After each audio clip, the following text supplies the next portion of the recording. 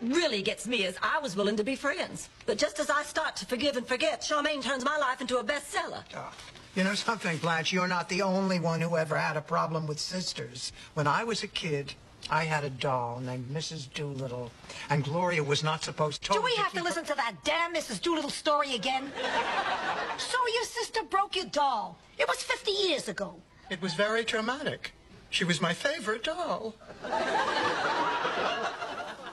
I didn't talk to Gloria for months, but eventually, Blanche, I realized sisters are harder to replace than dolls. So we made up. And I vowed right then and there never, ever to fight over something so childish and silly again. My favorite!